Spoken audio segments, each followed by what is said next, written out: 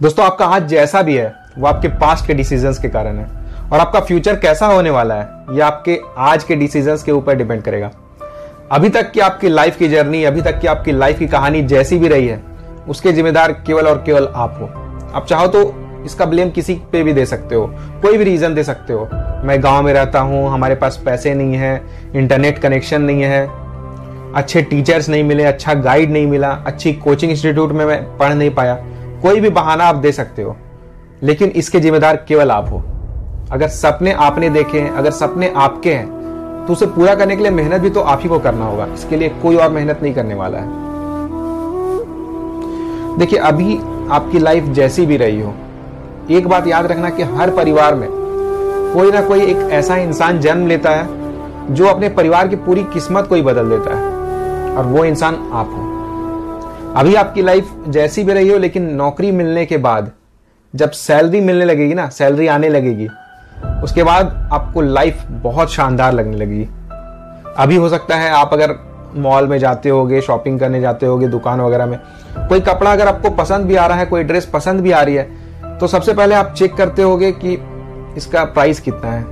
Price tag में क्या लिखा हुआ है। लेकिन जब नौकरी लग जाएगी, जब सैलरी आने लगेगी ना, उसके बाद जब आपको, जब आप शॉपिंग करने जाओगे और कोई ड्रेस आपको पसंद आएगा तो पहले आप उसकी फिटिंग चेक करोगे। पैसे के बारे में नहीं सोचोगे। फिटिंग चेक करोगे, कैसा लग रहा है, मेरे ऊपर अच्छा लग रहा है, नहीं लग रहा है। अच्छा लगा, आप तुरंत परचेज कर लोगे। क्योंकि आपको भी पता है कि अगर पूरे महीने की सैलरी भी मैं उड़ा देता हूँ, फिर भी अगले महीने फिर से अकाउंट फिल हो जाएगा। आज हो सकता है आप लोकल ब्रांड के जूते पहनते होगे, लेकिन कल आप एडिडास और नाइकी के नीचे तो बात ही नहीं करोगे। और ये सब पॉसिबल तभी है, जब आप अपने कंफर्ट जोन से बाहर निकलते हो। देखिए कंफर्ट जोन ऐसा है ना, जो हमें आलसी बनाता जाता है। आपको लगता भी नहीं है और पता भी नहीं चलता है और आपके पूरे ज़िंदगी को, पूरे लाइफ को बर्बाद कर देता है।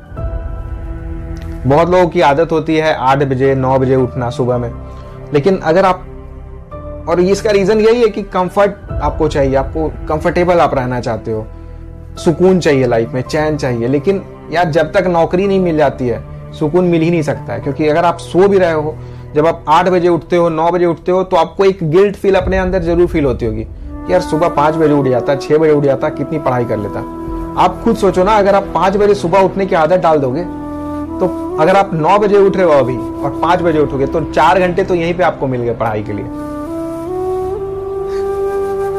लेकिन देखिए हर किसी के लिए ये पॉसिबल नहीं है और इसलिए जो सक्सेस रेट होता है ना, वो इतना कम होता है। आप आप हमेशा सोचते हो कि यार, इतने कम लोग क्यों सिलेक्शन ले पाते? इतना कम परसेंटेज क्यों होता है सिलेक्शन का? उसका रीजन यही है कि मात्र एक परसेंट लोग ही है जो अपने ऊपर वर्क करते हैं। कंफर्ट जोन से बाहर निकल पाते हैं। आपको अगर ये बात समझ में आ रही है, अगर आप जाग चुके हो तो कमेंट में गुड मॉर्निंग लिख देना।